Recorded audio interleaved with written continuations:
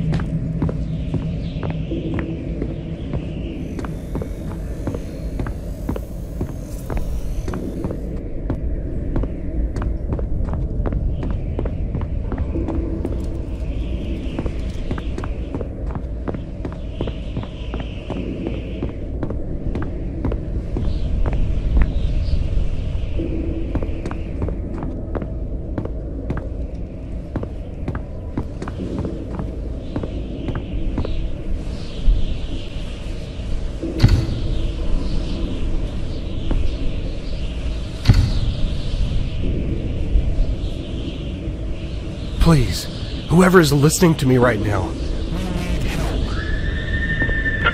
if I die right here, here, and you find this audio note, wh- whatever happens, don't go into this fucking crypt. It's cursed, and all you can find is death.